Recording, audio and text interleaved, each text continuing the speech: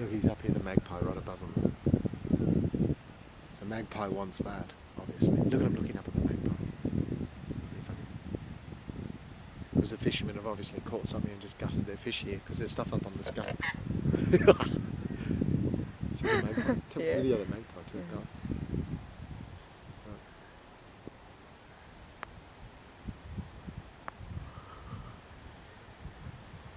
Go. Go on, go and get your fish. Stop that fighting and eat. So what? The mouth so big. Here goes a boat. Boat's coming.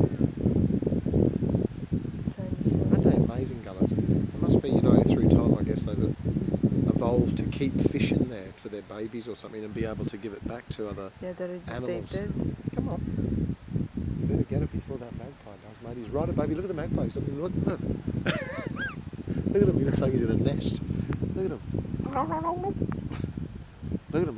Oh! Oh!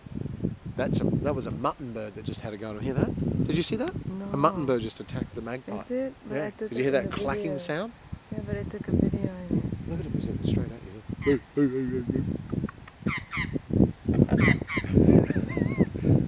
oh, oh, he's dive bombing him. Look. Sounds like a trombone. Yeah, he's dive bombing him. Sounds like a trombone. Oh, is that funny? They're really territorial. What about?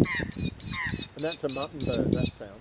But listen, these guys aren't. Um, look, they're, they're fighting so much they haven't worked out that there's ducks on this table here.